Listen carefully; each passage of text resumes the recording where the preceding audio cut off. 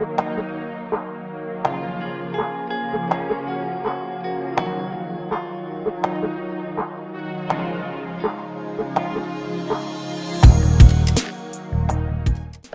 上好，早上的小山村。Hello，大家好，我是小鸟。今天是二零二三年十月十六号，此时此刻，我正在江西上饶市婺源县。今天我将从黄岭出发，一路北上，最后到达景德镇市的瑶里。因为去年来景德镇的时候没有顾上去瑶里，所以今年补上。途中，我将游览属于婺源县的 N 个有特色的村落。第一站上坦村，可能对于大部分人来讲，这个地方太小众了，根本都没有听过。冯小刚导演曾经有部电影是在这儿拍的，叫《我不是潘金莲儿》。正由于村里没有太多的游客，所以还挺出片儿的，很适合拍氛围感照片儿。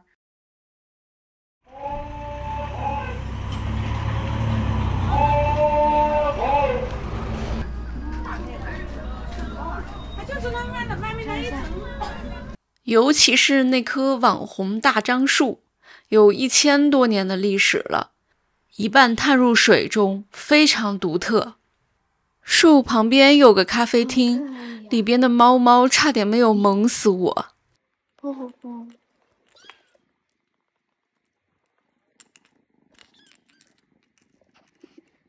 哎，不可以，不可以啊！不可以，不可以！哎呀，哎呀呀呀呀呀呀！哎呀！给我咬断了一会儿，撒嘴，撒嘴，撒手，嗯，撒手，撒撒手，听话，听话，听话，好吧，嗯，哎呀，调皮，你看人家多乖，你看你调皮鬼。从上坦村出来之后，沿着山路继续往前走，就到了我的第二站龙尾村。之所以叫龙尾村，是因为它在五龙山的尾部。村子虽小，但地处两山之间，背靠河流，俨然一幅恬淡悠闲的村居图。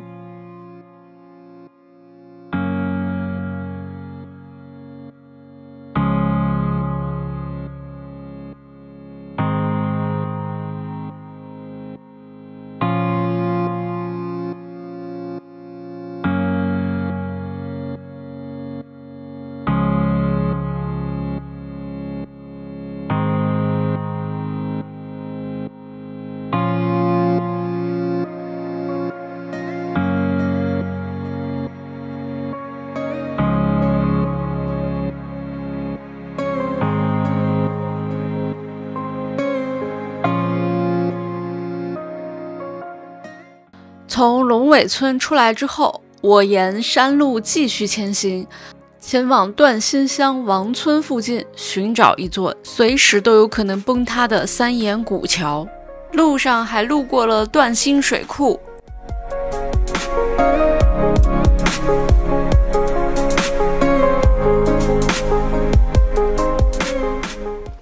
感觉这个桥马上就要塌了，但是真的好美呀！那边有露营的牛们们，好多蚂蚱呀！走一步能飞起一堆来。这个三眼桥名叫永济桥，我咋知道的呢？桥上边刻着它的名字。查了一下资料，大概是修于清朝的嘉庆年间。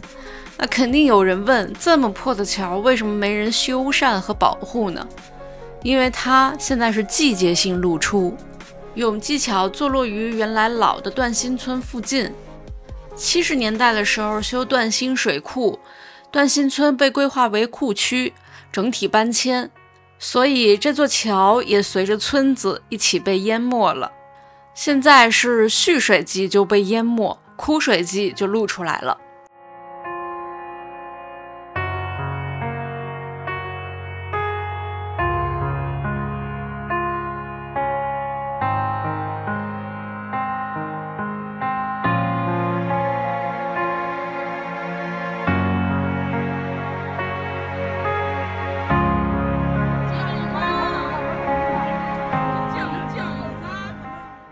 从三眼桥出来之后，我开过了山路十八弯，继续前往下一站，是两个相邻的村子——红关村和茶关村。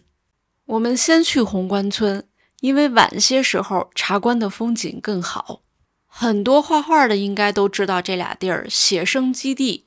我去的时候，也有很多老师带着学生在写生，让我不禁想起了我的童年，基本上就是这么度过的。关键还有一点，它是明清徽墨的产地，所以也是很多墨师的故乡。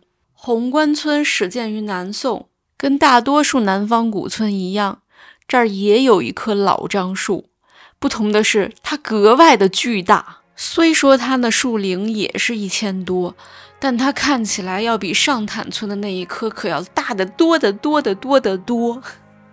哇，这个樟树也太大了吧！